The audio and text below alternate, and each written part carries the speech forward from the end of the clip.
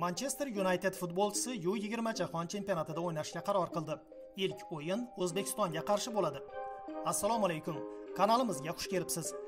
Videolarimizga layk bosib bizni qo'llab quvvatlayotgan barchaga rahmat. Aynan sizning qo'llab quvvatlashlaringiz sababli biz ishlashda davom etamiz. Demak bugungi dasturimizni boshladik. Manchester united vengeri alexandro garnacho argentina terma jamoasi safida 20 yoshgacha bo'lganlar o'rtasidagi jahon chempionatida o'ynashga qaror qildi.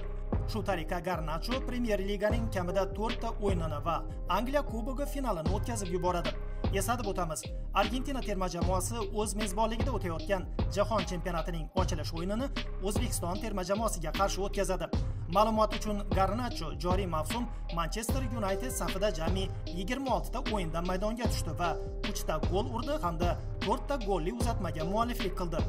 Eslatib o'tamiz u20 jahon chempionati 20 may kuni start oladi va ochilish o'yinida o'zbekiston mezbonlar argentinaga qarshi maydonga tushadi.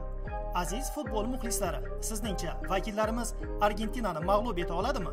Agar mag'lub eta olishsa qanday omillar evaziga mag'lubiyatga uchrata oladi deb o'ylaysiz? Albatta fikrlaringizni kommentariyda yozib qoldiring. Kelasi dasturlarimizda ko'rishguncha xayr salomat bo'ling.